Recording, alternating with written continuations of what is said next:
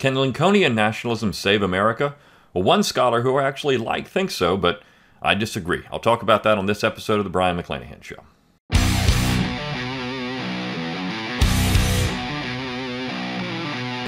It's time to think locally and act locally. Welcome to the Brion McClanahan Show. Welcome back to the Brion McClanahan Show. Glad to have you back on the program. Very glad to be here. Don't forget to follow me on Twitter, like my Facebook page, and subscribe to my YouTube page where you can watch this podcast. Find all those social media accounts on my webpage, brionmcclanahan.com. That's B R I O N, McClanahan.com. While you're there, give me that email address. I'll give you a free ebook, Forgotten Founders, free audiobook of the same title read by yours truly. You can support the show by going to McClanahanacademy.com, buying classes there. And if you're listening to this podcast again, right at the very end of this. In June of 2023, use the coupon code JUNE, get 25% off all of my classes at McClanahan Academy. And you're going to do that because on July 1st, 2023, the prices are going to go up. So get the classes for the best price you're ever going to get them again. And I've got everything on sale, including the bundles, which are already discounted, but now you get a further discount with the 25%. So the bundles are at least two classes, but in some cases, four classes. So it really is a great deal, and you want to capitalize on that because on June 30th, actually on July 1st, when everything goes up, end of the day, June 30th, everything goes up in price. So you want to you want to take advantage of that while you can. You can also support the show by clicking on the support tab at brionmcclanahan.com. Throw a few pennies my way there, or go to Spotify for podcasters. You can you can subscribe there. You can click on the super thanks button under this video if you're watching on YouTube. You can send a few pennies my way that way. But as always, rate, review, and subscribe to this podcast. Let people know you love it. Share it around on social media.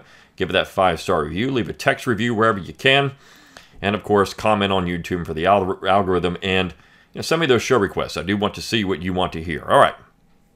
Well, let's talk about Abraham Lincoln. And I said at the beginning, there's a scholar that I actually like that says what need what we need in America is more Lincolnian nationalism because of all these different conservative groups talking about nationalism now. Well, what kind of nationalism do we actually need?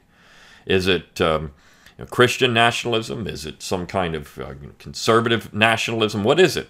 What do we need in America that would save America? And of course, this is based on the assumption that what we need is real nationalism. And I've argued against that for a long period of time. But if we had to look for a national figure that could save America, it wouldn't be Abraham Lincoln. Now, I'm going to read this piece that he wrote for uh, Real Clear Politics, I think it was, or Real Clear Policy, one of the others. Uh, this is Miles Smith. He teaches at Hillsdale College, and I like Miles. Miles is a, he's a, a very nice fellow. Uh, he loves the South. Uh, he likes Southern history. Um, but I disagree with him on on this particular issue. And of course, I've, I've covered some of his other material in this podcast before, and uh, one on secession, for example. But um, I don't necessarily agree with, with Miles on on many of his positions on, say, federalism or uh, decentralization. But again, he's uh, he's someone who I think everyone should read and very nice fellow. Has if you follow him on social media, his, his Twitter feed is uh, always full of all kinds of cool stuff. Uh, he's pretty eclectic in what he puts up there, so it's definitely worth a follow just to see what he's posting. Uh, Alan Mendenhall, by the way, who is a dean at Troy University, is the same way. Always posts some really interesting uh, material on his Twitter feed. So if you like links and you like to see stuff that's just, you know, cultural, art, uh, politics at times, but he doesn't focus on one thing or another. And I think history, and I think that's what makes those Twitter feeds very interesting. But I want to talk about this piece that he wrote for Real Clear Policy on Lincoln. And um, again, if we're going to follow a, a, nationalist, it wouldn't be Lincoln. It would actually be George Washington. And I'll talk about that in, in a minute. And that'll actually segue into what you're going to need to get next week. I think it's going to be next week, no later than the week after, but next week when the next class at McClanahan Academy comes out. But let's talk about this piece. The title is Why We Should Uphold the Nationalism of Lincoln. Well, right there. I mean, look, I've said before on this show, if you're going to use Lincoln, you're going to be disappointed. And you're going to be disappointed because anybody can use Lincoln as an example in America. And what I mean by that is that the left can use Lincoln, the right can use Lincoln, at least supposedly, but they all use Lincoln. And when that starts happening, you know that figure has been distorted.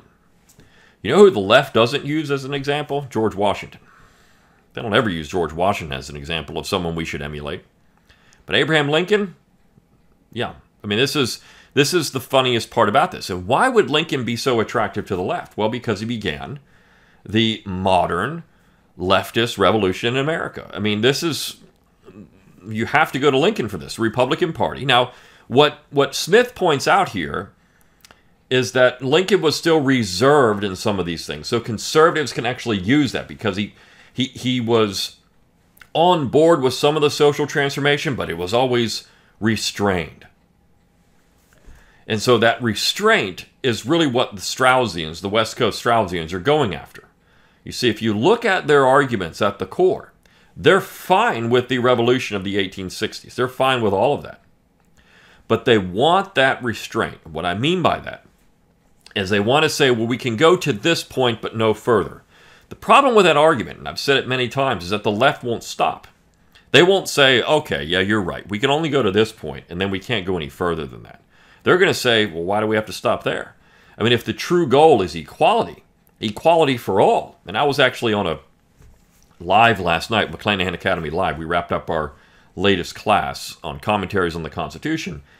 And I was talking about something that uh, Raoul Berger in his book on the 14th Amendment brought up. And it was that, you know, when the 14th Amendment was, was being proposed and, of course, debated in Congress, Thad Stevens, the radical Republican, said we need to make, we need to have a, a, something in the Constitution that prohibit discrimination on anything. And you know what? The more conservative people in Congress said, well, that's, we're not going to do that.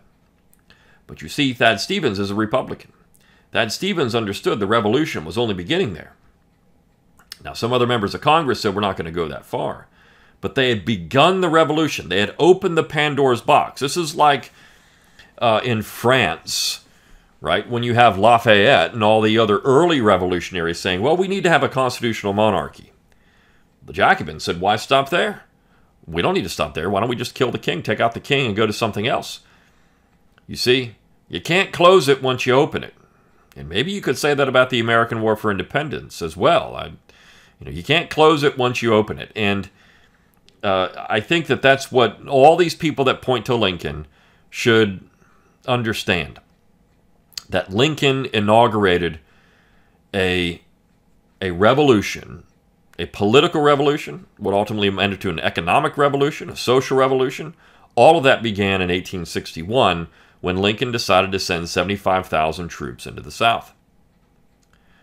That's what happened. And so uh, when we look at Lincolnian nationalism, I mean, what is that even? And I'll talk about this as we get through the piece. So let's read this. Conversations about nationalism are seemingly everywhere. I agree.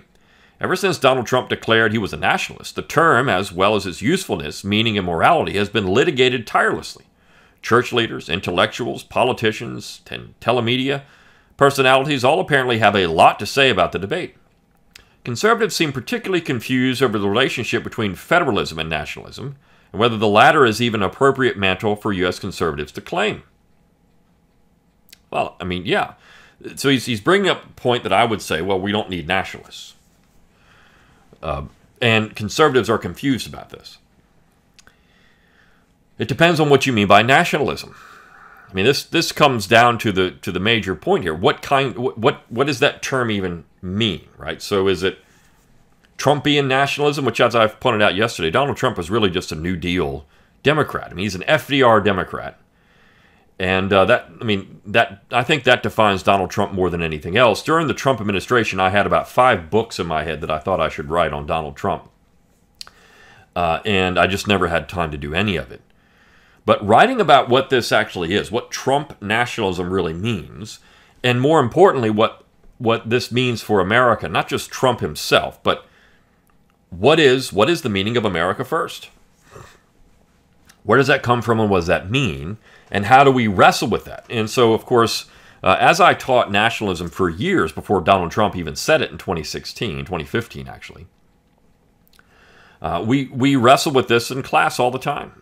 You had in the in the late 19th century, you had the progressives take the mantle of nationalism and in the early 20th century, and what they meant by that, as you see with people like Bellamy, uh, Francis Bellamy, and the Pledge, what they meant by that was a singular entity that had uh, complete control over the entire political, economic, and social processes in the United States. What they didn't want was any kind of block from the states.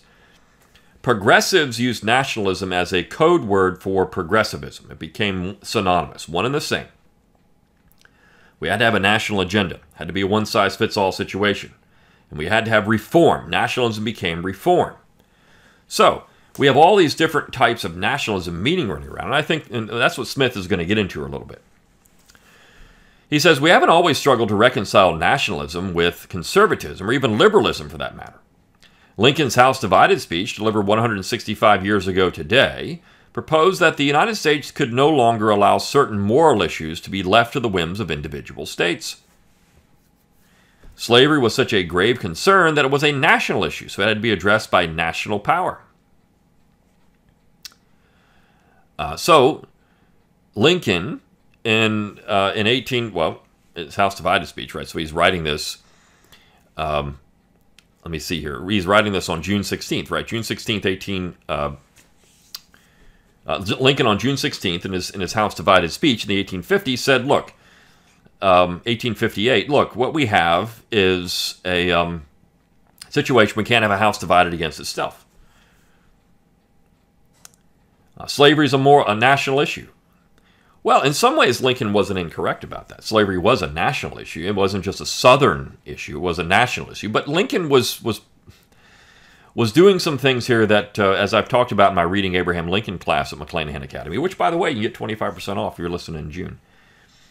Uh, Lincoln was always aware of he was he was very good at this. Always aware of the larger picture and what rhetoric could mean, whether it was true or not. And Lincoln wasn't necessarily concerned about the uh, the issue of slavery other than politically. In fact, Lincoln was always li- willing to allow slavery to exist in the South. But what he did want was the Western territories. And he thought eventually that would lead to the extermination of the institution if he bottled it up in the South. But uh, I think that rhetorically he was doing this to try to gain political points, at least from some members of his own party. But Lincoln, the politician, was always willing to do things that were a little different.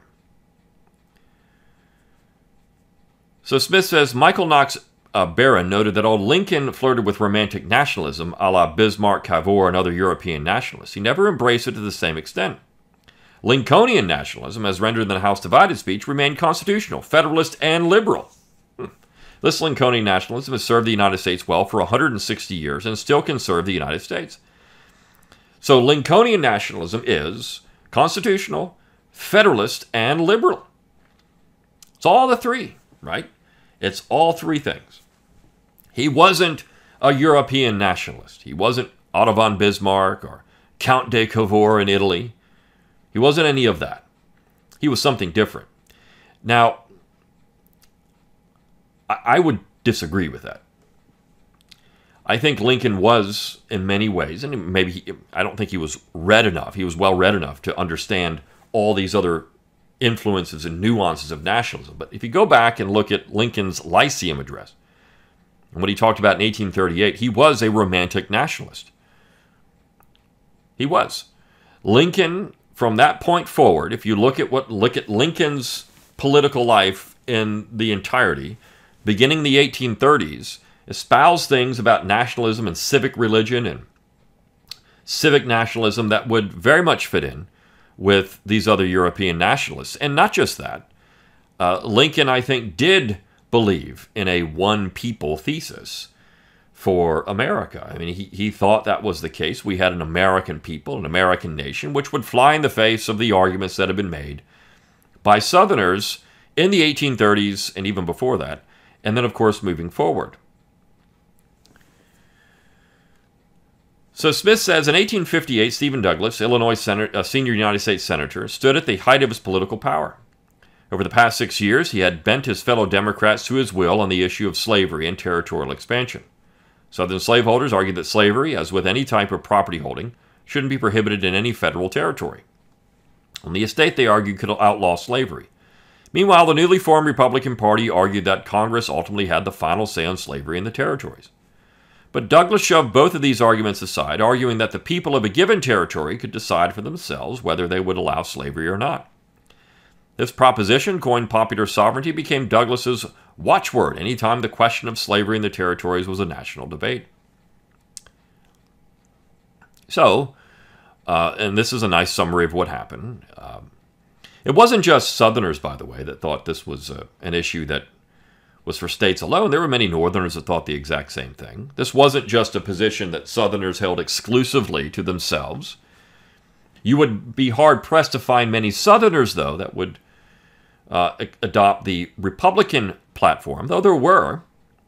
If you go back into the early federal period, or maybe into the, well, I say the Jeffersonian period, you had people like Philip Pendleton Barbour, who was a Southerner, who said that Congress could regulate slavery in the territories as part of the municipal power.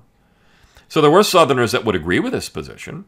I mean, you even saw it when you had the Missouri Compromise of 1820. This was there were enough Southerners that would agree with federal control over the issue that they would allow that compromise to be pushed through the Congress. So it wasn't exclusive to either place, so I think you would find more Southerners who were opposed to it, and you would find Northerners who would actually support the Southern position. Though, again, they were in the minority there as well. So this really was not just north south, but you had, in some ways, it was determined by party, in some ways. Not in every way. This is, of course, going to lead to the breakup of the Whig Party over this issue because Southern Whigs would tend to align with Southern Democrats on the uh, issue of slavery extension, whereas Northern Whigs would tend to align with uh, Free Soilers and others on the extension of, of slavery in the territories. Northern Democrats would tend to align with Southern Democrats on this particular issue. And there were a lot of Northern Democrats. Hmm. Stephen Douglas is a Northern Democrat. Now, Smith says Douglas's proposal was Democratic and Federalist. It was also relatively popular. Democratic and Federalist. So it's Democratic, meaning that this is the people decide. We're going to vote, we're going to decide on this. But it's also Federalist because, well, he's looking at states as the building blocks of the entire system. It's also popular. He was right about this. Not only did Congress pass the Kansas Nebraska Act, they'd already decided to organize Utah and New Mexico, the Utah and New Mexico territories, on this very principle in 1850. So it wasn't just the Kansas Nebraska Act four years earlier. You had the Compromise of 1850, which used popular sovereignty in the Western territories. So he's incorrect that the Kansas Nebraska Act. He says Congress passed the Kansas Nebraska Act, the first major territorial legislation enacting popular sovereignty. It wasn't. That would be the Compromise of 1850, with both Northern and Southern support. So, as those territories would be organized in the West off the Compromise of 1850, you would have had popular sovereignty. All Douglas did in 1854 is say, you know, I know this territory was organized uh, under the Missouri Compromise and it should be prohibited to slavery. But didn't we just use popular sovereignty here and everybody was fine with it? Why don't we use it here? Why don't we expand that into the other Western territories and we'll go with that? And of course, this had both Northern and Southern support. He's, he's right about that. Uh, without question, he's right about that. And the same thing in, in 1850. In fact, people like Daniel Webster in 1850, when, when the Compromise of 1850 passed, he was back in Boston trying to uh, support the terms. And one of those, of course, was a stronger fugitive slave law, and he's helping round up fugitive slaves in Boston. And this really got Daniel Webster in hot water, but that was something that he said was for the good of the Union. Got him in hot water with his own constituents. So Miles says, but anti slavery Northern Whigs and members of the newly created Republican Party formed the core of opposition at Kansas Kansas, Nebraska. Abraham Lincoln, at the time a well paid railroad lawyer who had been out of politics for six years, fumed at the law. Slavery was something far too morally grave to be dealt with merely democratically. Fumed. Uh, and, you know, Lincoln was, of course, interested in keeping the territories, the Western territories, as he told Douglas in 1858, uh, white. That's what his point was. Look, uh, here, Douglas, in the 1858 Lincoln Douglas debates, Douglas put Lincoln on the defensive by bringing up race. And Lincoln spent a lot of time talking about race because Douglas understood that the voters of, of Illinois, generally, were not going to be in favor of any kind of racial egalitarianism. So when Douglas points this out and puts Lincoln on the defensive, and they have talked about race all the time, that that created a successful path to victory for Douglas. It shows you what the racial consciousness of Illinois was. Now, there were certain parts of Illinois that were certainly much more tolerant to abolitionists and emancipation than other parts of Illinois. Southern Illinois was very much uh, anti uh, anti Republican Party, anti uh, any kind of racial uh, equality. Uh, they they just didn't care for it. In fact, um, there was some discussion when the war began of that section breaking off from Illinois and joining the Confederacy. Uh, this didn't happen and uh, one of the more prominent Union generals of the war, who has a big statue in D.C. now, who was an, I mean, ardent, you know, racist, pro-slavery at one point, and then he switches sides, and he becomes ardently anti-slavery, you know, anti-racist supposedly. But um, it's just, it's a funny thing that they they still, you know, nobody really calls this guy out for that. But anyways. I think Smith is being a little bit too uh, generous to Lincoln here and what he was really trying to do. Abraham Lincoln argued that since the Republic's inception, Congress and not territorial settlers had the ultimate say on slavery in the territories. After all, in 1820, both congressional houses passed the Missouri Compromise, forbidding slavery anywhere north of a line that formed the southern border of Missouri. For 35 years, the line held steady. That is, until Douglas's popular sovereignty doctrine allowed for the potential, potentiality of slavery to be legalized anywhere that wasn't already a free state.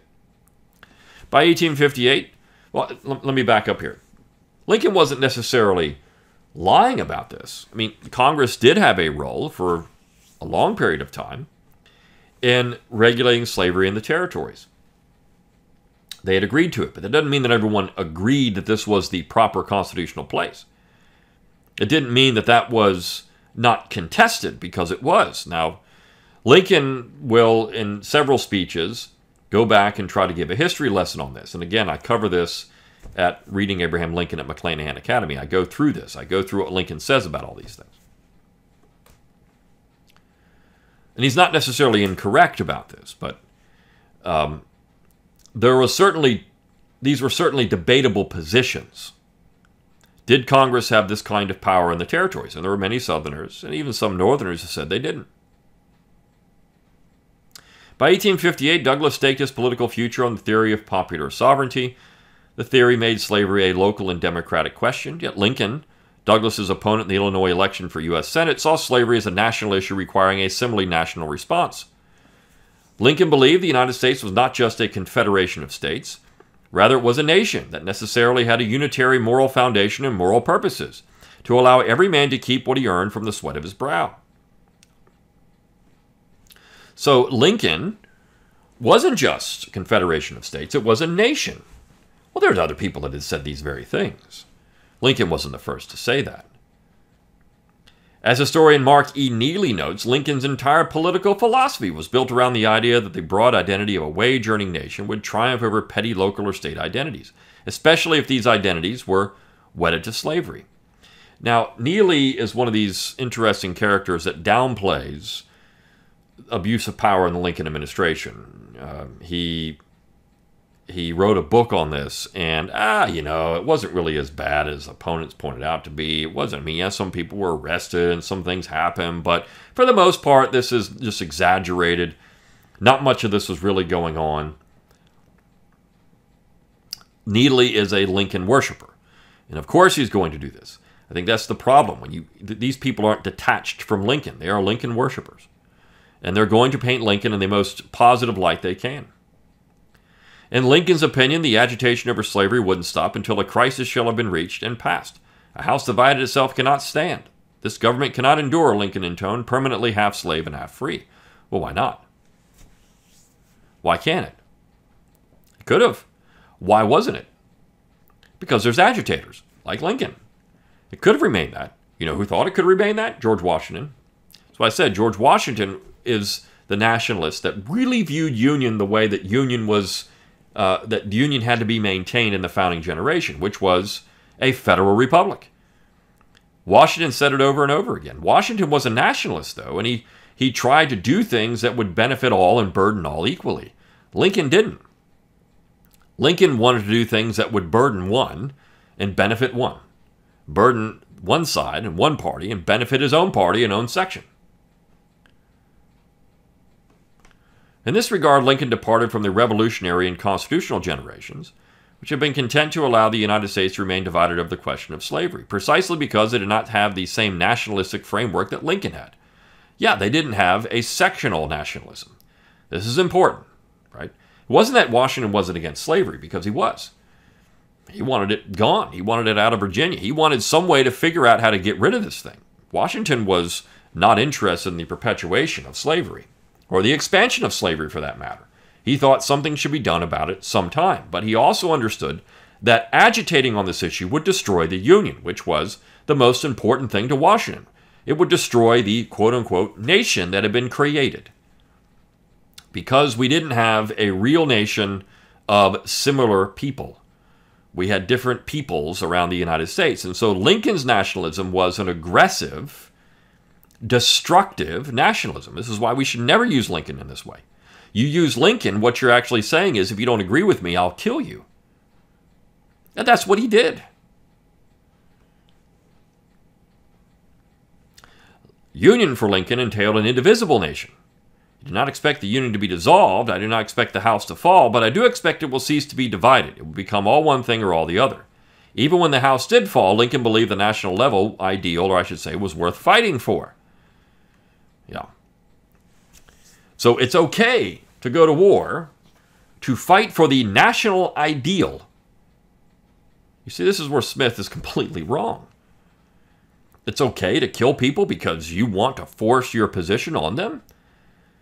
Lincoln was the most divisive president in American history, evidenced by the fact that a million people died because they didn't really want to be part of his government. There's a section of people that didn't want to be part of his government anymore the most divisive president in American history. I know Donald Trump likes to run around saying that, or, but Lincoln was. No question. The Lincolnian nationalism announced in the House Divided speech and enacted by the Civil War was liberal. Enacted by the Civil War. This is a very strange thing. We're going to champion something that's enacted by a war? A nationalism that, that led to war? Why would we do that? Why would we enact something that's going to lead to violence? The Republican Party sought to enact capitalistic reforms across the Union and to finally remove slavery, the great obstacle to the individualistic equality proclaimed by the Declaration of Independence. Well, we know that the founding generation just didn't really believe much of that. We know that, I mean, they, they talked about it for a little while in the 1770s and 1780s, but by the 1790s, most had abandoned this kind of thing. And Washington was aware, and of course others, conservatives in particular, that the French Revolution, which you could say might have been influenced by the American War for Independence, mm, Americans did champion it at first, had gone way too far, and they didn't want that happening here. It was also conservative because of its commitment to natural rights and the endurance of the traditional social order wherein humans pursued virtue, good, and truth. Now, it's conservative because, well, uh, the uh, the Straussians say it's conservative because it's Harry Jaffa says it's conservative. I don't think there's anything about Lincoln that was conservative. Nothing. And it was federal in that it kept the constitutional order basically intact even during the Civil War. No, it didn't. Not at all. It transformed the Constitution, particularly uh, after the war. It transformed it. This wasn't a conservative order that had been created. It was a revolutionary order. So, look, again, I like Miles, but this piece is uh, is so far off base. Modern conservatives, warring over the excesses of gendered ideology, abortion, and other hot button cultural issues, have good reasons to believe that some political questions are too serious to be left to localities or states. You see, what he's advocating here uh, is well, these things are too big. We got to have a national decision on this. So, what happens if you're in the minority? What happens if the Congress is not controlled by you. And they say, you know what? We'll just take the, I mean, um, you know, abortion, whatever, gender ideology, LGBTQ plus, whatever it is. We're going to have a national policy on these, and it's going to force conservatives, Christians, to accept the liberal order. Do you want that? They're saying that's moral. You're saying it's not. Do you want that? You see, Southerners were willing to say, we'll just leave this up to the states. I mean, the territories have to be open because it's common property of the United States. Once it becomes a state, it can do what it wants. But do you want this? Do you want a one size fits all government? Which is seemingly what Smith is arguing here. He says, but that doesn't mean conservatives need to appeal to post liberal fads of the day. The legacy of Lincolnian nationalism is conservative and liberal. It's federalist and constitutional. It's worth keeping. And 100% incorrect. It's not conservative and liberal at all. It's liberal. There's nothing conservative about it. it didn't seek to conserve anything. It sought to disrupt the entire order of America. It's not really federalist and constitutional. In fact, um, even Northerners were saying Lincoln was running all over the Constitution the Constitution wasn't preserved by the Union, it was destroyed. So to, to say that it's worth keeping is ridiculous.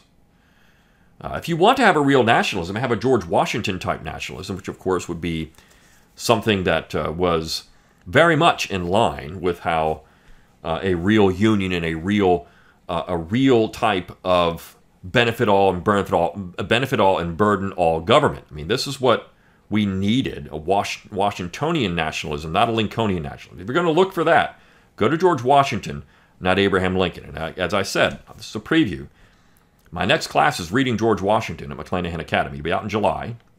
And we're going to get into this who Washington was as a man, why he's important, and why we should still listen to George Washington. If you're looking for a, uh, an individual who espoused the real ideals of the early American Federal Republic, which was what was, I mean, that's what we should have followed the entire time, not something entirely different, which is what Lincoln did. All right. See you tomorrow on the Brion McClanahan Show. See you then.